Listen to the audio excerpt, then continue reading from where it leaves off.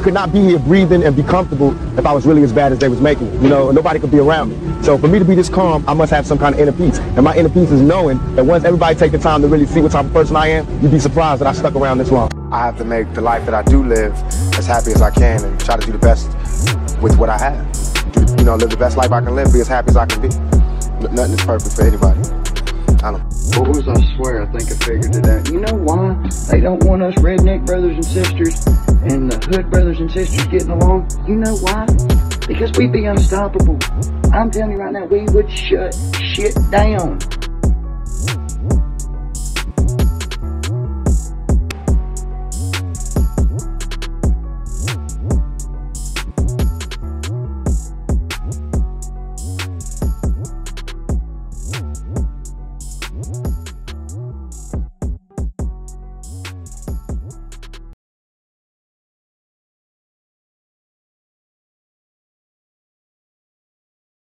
Shout out to some YouTubers. There's a princess that released the video today. Thank you. O'Shea, thank you. Hannibal, thank you. Burgundy, hmm, the jury's still out.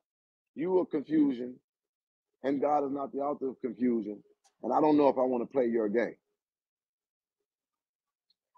So just like you said, you don't know how to report on me. I don't even know how to interact with you.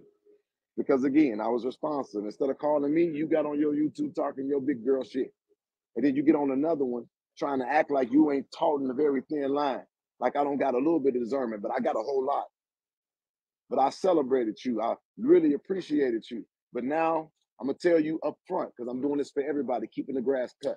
I don't got time to play in nobody's face. My life on the fucking line. So you either with the good shit or you with the messy shit. You pick your lane and stay the fuck in it. Because if you my enemy, then let's just let it be that. Go on your page and talk your shit about me. Because I'm gonna always give you something to talk about because I'm gonna always be working. Now, outside of that, I am not going to not go into Hell Week.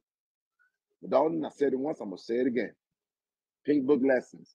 Shout out to the young lady. Because you know what? These people are literally no matter what their focus is or that you i just like people who are trying to get it out without looking for mess to stir in the process. You can be an amazing youtuber without being a distraction or a detraction from the person if i don't understand them if i don't like them this is what journalists do. You call them.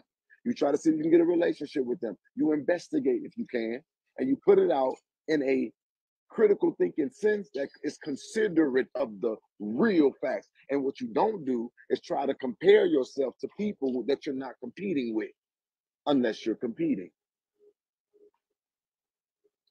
I don't compare myself to no YouTuber.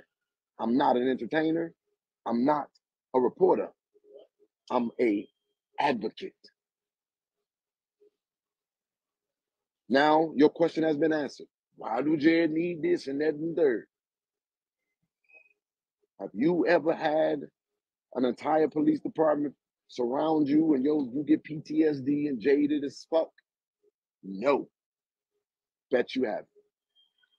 I'm not running. Now I know we winning.